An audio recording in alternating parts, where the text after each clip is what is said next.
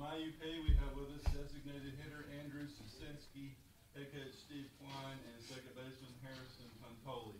Coach, if you would, give us some thoughts on the game, and then we'll take questions. Yeah, first of all, uh, hats off to Central Missouri. Unbelievable team. Uh, well coached. Guy was unbelievable over there.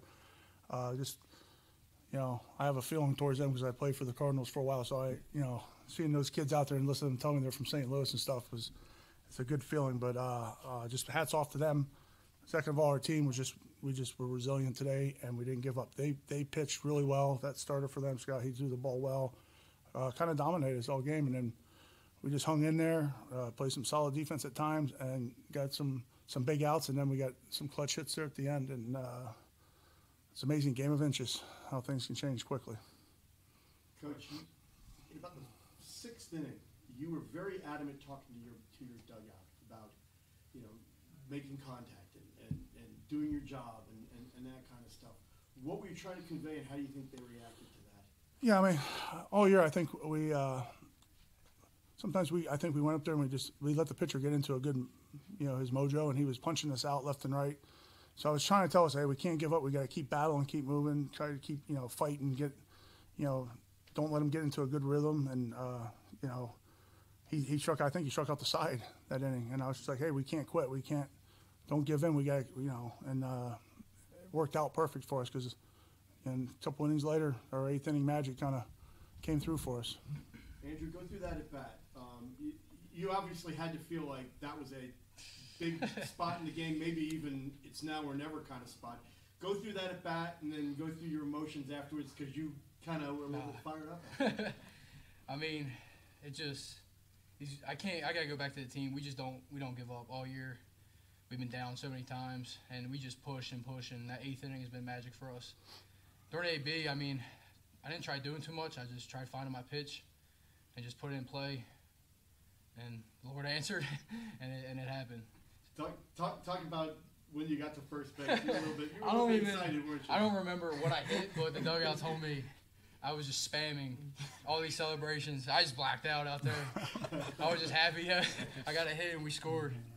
And then Harrison, you had the you had the big hit to kind of tie the game a little earlier. Um, how big was that for you guys? Because I think at the time you only had two hits all game. How big it was it to break through finally after you know struggling to play as a team in the first game and then early today? Yeah, I mean, it was just a great feeling. I mean, I was seeing the ball well all day, and I was just not trying to do too much. And he threw a pitch middle in, and I just took it took it to right field like I normally do. And yeah, I mean, he was a great pitcher though. I mean, his stuff, he had good movement, hit his spots. So hats off to him. But you know, Steve, go ahead. Go, go ahead. Harrison, you said that, or we were talking about how you seen the ball well all day. When you had that, that second hit, when you're back up in that clutch situation, what was going through your mind up there facing the new arm? Yeah, I mean, same same type of thing. I was just trying to stay stay calm up there and not do too much and find my pitch, and that's what I did. Coach, you had five hits on the game today. Four of them are sitting next to you. what was that like going through, staying calm throughout it? Oh, I mean, it's it's it's frustrating because I know our team can hit, and I think we're just pressing the pedal a little bit too much and trying to do too many things. I don't think we're we're staying with our approach a little bit. At this level now, you're going to see great arms and usually good pitching shuts down good hitting. And uh, we were fortunate that we just battled. Like I said, Sean hit that little, you know, little Texas League bloop, you know, like hop up the middle, and we got on, and he hit the double down line. And thank God he had speed, and he scored on the, you know, the first kind of the second run that we scored there. That's just a, a blessing for that. And then, like I said, the other ways we just scored in the first inning on an error. Uh, Brady Hart stole second base on a on a hit and run that kind of pitcher threw kind of up, and then it just worked out the way it worked, and we got lucky. And uh, you know, to watch that guy run around the base, I think he was tired. I didn't know if we had any oxygen left, but I was, I was like, man, we don't have oxygen in this. Uh, so, but I was happy for all the guys. The guys, uh, like I said, they just battle. I'm, I'm tough on them all year, and I, I wear these guys out, and they just respond. So I'm happy for them. For all the big plays and the big hits and everything, the biggest play in that game may have been the throwing out the runner, trying to steal it. Yep. And Could you go through that? I mean, is he that accurate all the time? And I was hiding in the bathroom. I'm not gonna lie. I didn't see the pitch at all. All right, so Yeah. Andrew, you, you were out there, and uh, how, how big? How, Just being an ex catcher too, and just seeing Landers do that in that moment. I mean, he's done it two or three times. Uh, if I can go back through in a year, it's just that takes momentum right out, right out of their dugout, and then the van just does a job, or the Peyton, and we turn it, and that's game. And then Harrison, the celebration happened. And then they said, oh, oh, oh, it's JK, everybody get back in the dugout. What was that like waiting for the, the, the, the review? I mean, right away we we asked Miller, "Were you on?" And he goes, "I was for sure on." So I mean, no doubt he doesn't. Miller doesn't lie. He's gonna be so a cop too. He's so gonna be a cop. That's, He doesn't an lie, honest so. man. He's an honest man. And, and you have to celebrate twice, too. Yeah. That's all I got. Thank you, Jack. Thank you, No gentlemen. problem. Thank you. A couple Thank you, guys. Thank you.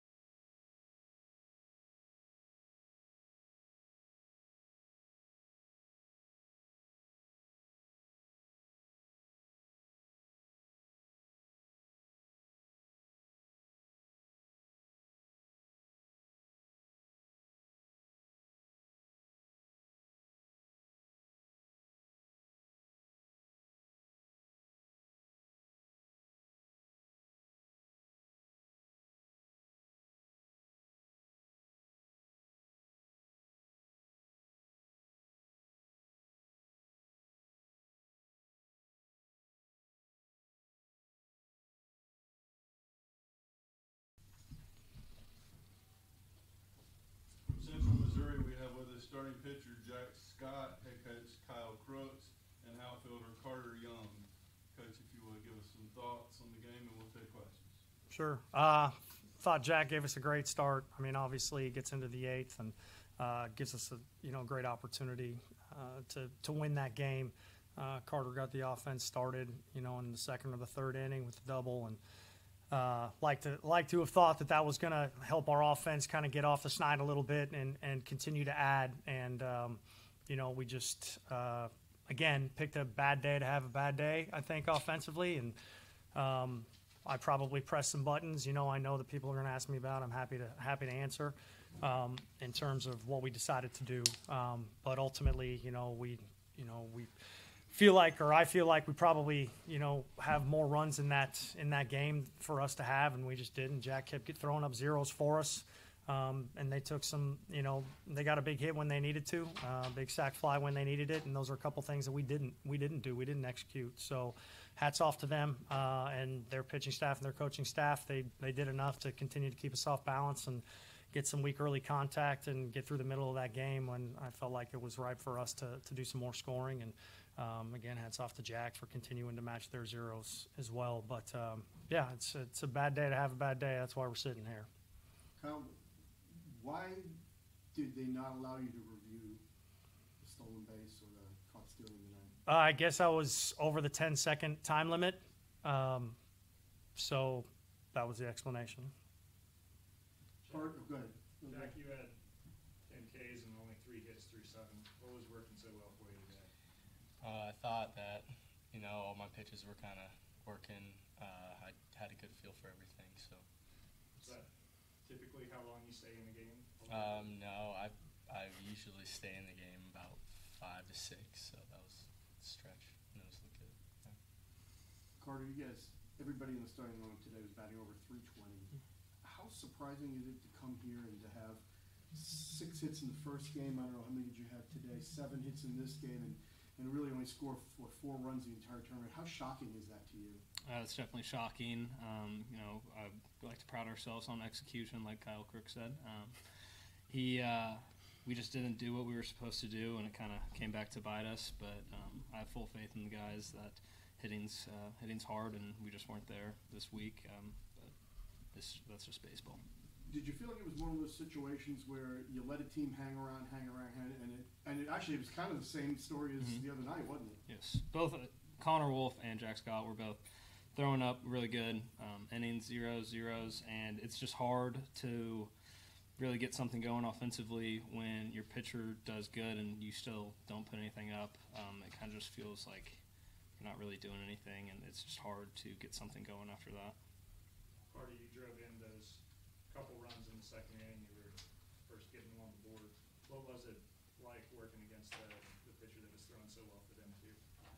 Um, just kind of, it was my second time through, so I already knew what everything, um, I know the pitches he had and kind of the sequencing, so um, kind of just relying on the coaches and what I've heard and all the information that I got before, so um, just kind of doing what we've been doing all year and all season, um, just kind of relying on what we did training wise. Coach, talk about, you know, the senior class and the legacy that they, you know, left here, um, at UCM.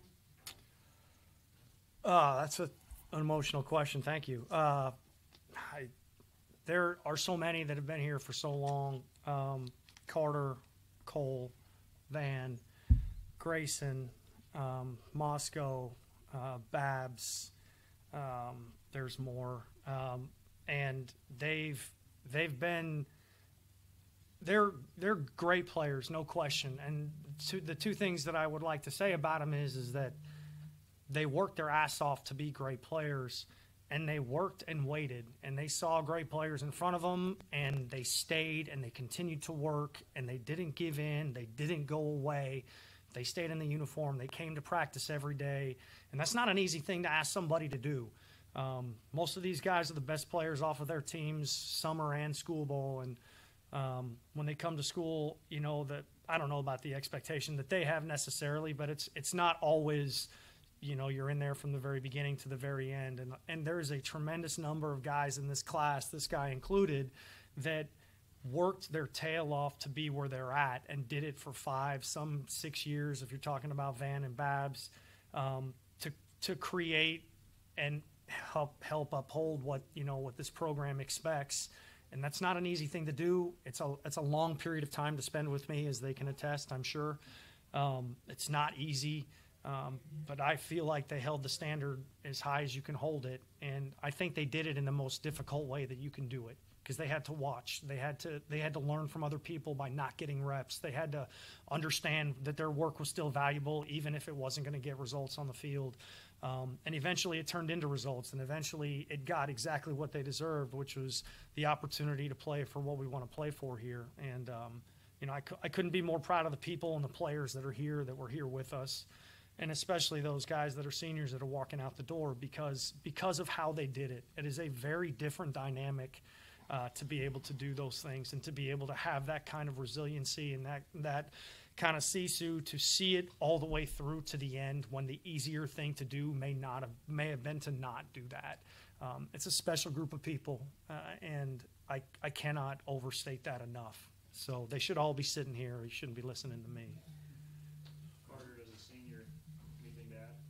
No, just um, I'm extremely blessed uh, to be part of the squad. Um, ever since a freshman, um, being under Coach Crooks is definitely something I will cherish for the rest of my life. Um, talk about culture here, and uh, sometimes that word can get washed around, but Crooks he does a great job of just getting. You could be a good ball player, but if you don't fit here, then you don't fit here. And the young men that he he grows since I was a freshman has changed a lot, and um, utmost respect to him and the entire coaching staff. So, speaks. And Jack, you're a freshman. What's it been like this year learning from the, the older classes? Yeah, uh, the, the older guys have been, you know, tremendous on on helping me grow and everyone grow, and it's been really, really fun, and, and I've um, been very grateful that I could I could play under guys like Carter and, and all those the older guys, and it's been really fun, and I can't wait for for the next couple of years. So. Thank you, Jim. Thank you.